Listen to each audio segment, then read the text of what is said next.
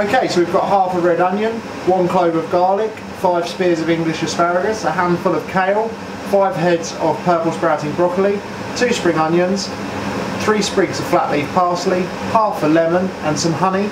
Everything's just been roughly chopped. We're going to fry all this off along with two breasts of chicken. Okay, so I've just added a nice spoon of coconut oil to the pan. We're going to let that dissolve. Once it starts to smoke, we're going to add the onions. Going to cook them down.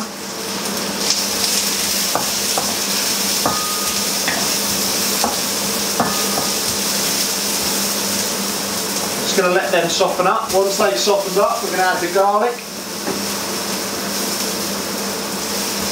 Then we're going to add the chicken.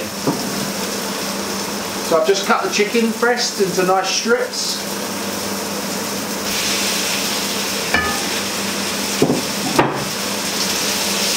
We just want to seal the chicken off. So just get some colour on the chicken before we do anything else. Okay, so once the chicken's nice and lightly coloured, we're just going to start to add the vegetables. So we're going to start with the purple sprouting broccoli.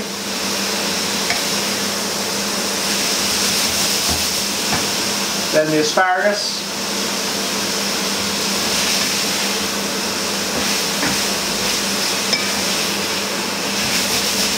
Finally the kale.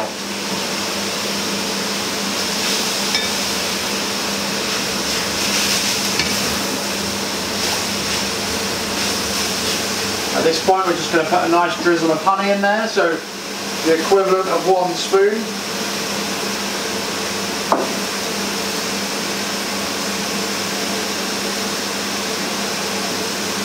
And we're going to add the juice of half the lemon.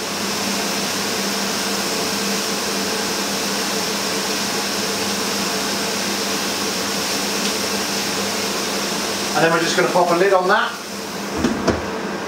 Let that steam, steam itself for a little while, then we're going to remove the lid and just continue to fry it.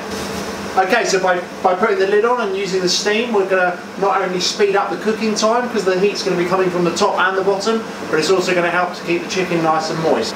Okay, so that's been cooking with the lid on now for just over two minutes. We're going to take that off and we're just going to reduce down any, any liquid that's formed in the pan.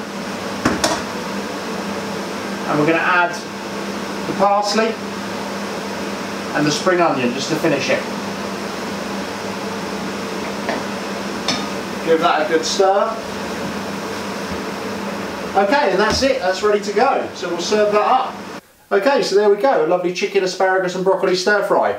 Um, please subscribe to my YouTube channel, just click on the link below um, and click the subscribe button. And if you haven't already, just check out my Facebook page, Sulston's Kitchen.